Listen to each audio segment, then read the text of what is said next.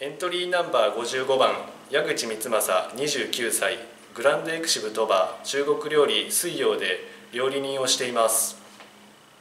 私が信頼している生産者は山越光一さんです。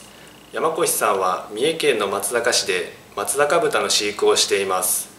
山越さんの豚肉は脂身に70%ものコラーゲンを含んでおり豚肉特有の臭みも少ないのが特徴。一般の豚肉は加熱すると縮み硬くなりますが松阪豚は硬くなりにくくしっとりとした仕上がりになります。この素晴らしい豚肉を生み出すことができるのは山越さんのこだわり抜いた飼育方法にあります。豚そのものの品種220日を超える長期飼育ストレスの与えない飼育環境屠殺方法までもこだわり素晴らしい豚肉の生産を行っています。私はこの豚肉をたくさんの方に知ってもらうために情報共有の場での発信と美味しさを知っていただくためにレストランでの提供を行っています。そのことが山越さんの応援になると思います。